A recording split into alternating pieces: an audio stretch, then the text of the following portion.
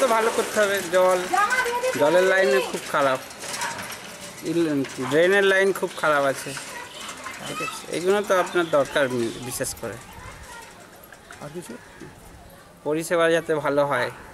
আর এইসব পরিষেবা যদি দেওয়া হয় ঠিকভাবে তো আপনি কি পাঁচ বছর পরে আপনি বলতে পারবেন? আমি স্মার্ট বিধাননগরে স্মার্ট বাসিন্দা? হুম, অবশ্যই সেটা তো অবশ্যই বলতে হবে কোনো অসুবিধা হবে না।